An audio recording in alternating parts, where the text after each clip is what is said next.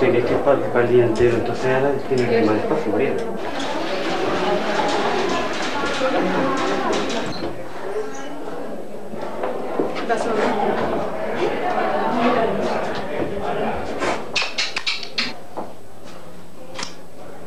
¿Liebre los ojos? Mírame un poquito.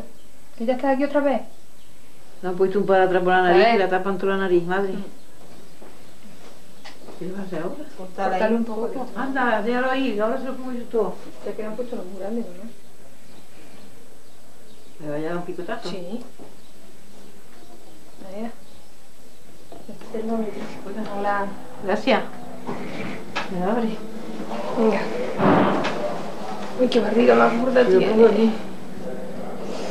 Pues como tiene los brazos así, pues se le cae de ahí. Y se lo pongo Qué barriguta. Ahí en, lo- en la inglés. Que le dan dos botes en las 24 horas. Se lo pongo a 60 o a 80.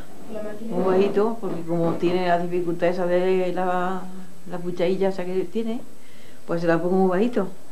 Y con bajito y todo se la he tenido que quitar. Ahí está en el el otro para tirarlo. Está sin comer. Vaya que quien lo vea dirá, este come bien, pues no come nada. Está el profesillo a dieta. Otra a Juan de Dios, estaba más cerca. Digo, le deja a mi marido, digo, voy a ir allí, me, me, me ducho yo, que allí no hay donde ducharse, y, y lavo la ropilla, ¿no? Si me lo dejaba boca arriba, cuando venía estaba boca arriba. Y si me lo dejaba de lado, cuando venía estaba de lado. Y yo padecía mucho, porque hay que moverlo, y él le daba fatiga de llamar a la enfermera. No, no es que daba coincidencia de que cuando tú ibas, ya lo había yo puesto de lado y de otra vez bien, y cuando iba estaba de la misma postura que, que, ¡Qué disparate! que no, tú te lo crees, cree yo lo quiero nada igual que tú, la María, no Si hombre. lo quiere, igual que yo, pero, pero luego sabe cuidarlo como yo. Eso se lo podía ahorrar si tuviera la cama que te estuve comentando la vez pasada. La cama, dar la de esa iba cambiando la cama, lo que es la cama de posición y no tienen que mover al enfermo. Para que el cuerpo precisamente no se le hagan escaras ni se le hagan nada de eso. Sí tiene esa cama. Pero esas camas valen mucho dinero.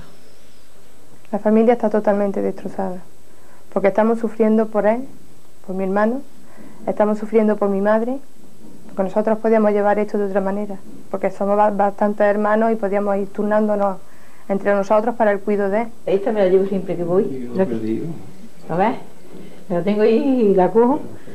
Y le digo, Miguel Santísima, que vengan los morales. Una vez nos comentó un médico que teníamos que sacarla. Dice, a tu madre tenéis que sacarla de aquí porque tu madre al final la cabeza la va a perder. Y yo le dije al médico que cómo la sacaba. Que me dijera a mí el, un cómo, porque yo decía que yo a mi madre sacarla del hospital entonces cuando mi madre caía mala. Porque ella es que no puede estar fuera de. Y lo dedico todo a él. Y yo no me adolezco de mi cuerpo, estoy siempre agarrado de la cama.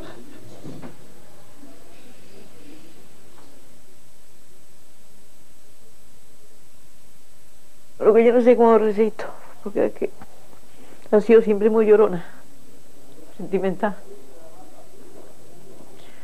Pero ya parece que se está una poniendo más dura, de que he estado una tanto tiempo en los hospitales.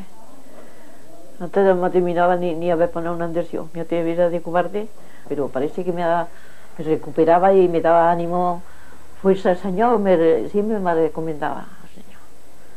Nuestro Padre Jesús de, mi- de, espejo, lo tengo ahí en una estampa, ¿te lo vio? Muy bonito, de la estampa de un, libro de Semana Santa.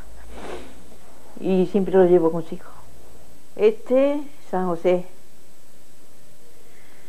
Este, el Cristo de los Faroles. La Virgen María.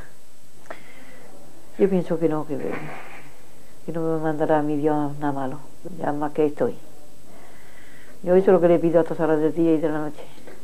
Que me tenga por lo menos que me pueda manejar mientras que viva mi Rafael. No quiero nada más que eso. Antes de yo irme, déjamelo a también puesto en su sitio. No déjamelo atrás.